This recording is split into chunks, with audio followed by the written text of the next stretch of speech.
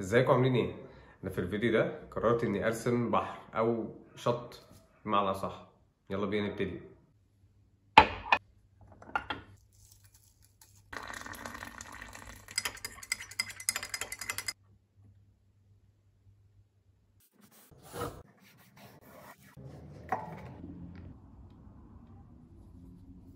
دلوقتي ابتدي احدد مكان الامواج ومكان السماء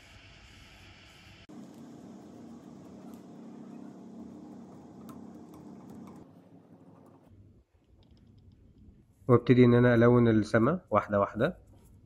من فوق بتبقى أغمق شوية وأنا نازل بتبقى أفتح وأفتح.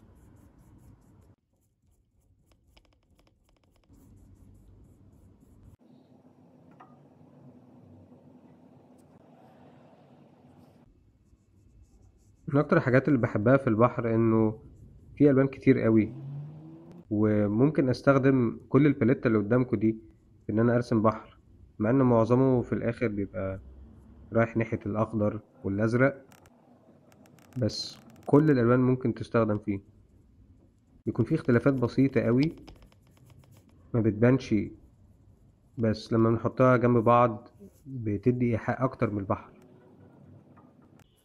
اللون البني البسيط اللي أنا زودته ده عشان ابتدت الرملة تبان.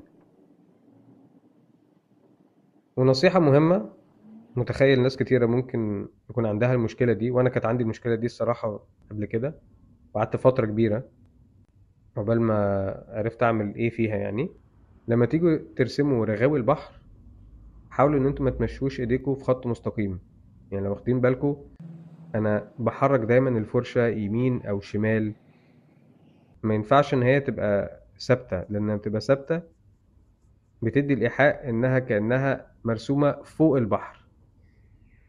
والسبب إن هي بتتحرك يمين وشمال عشان في أمواج. حتى لو إحنا مش باينة بالنسبة لنا هي بيكون في أمواج صغيرة جدا.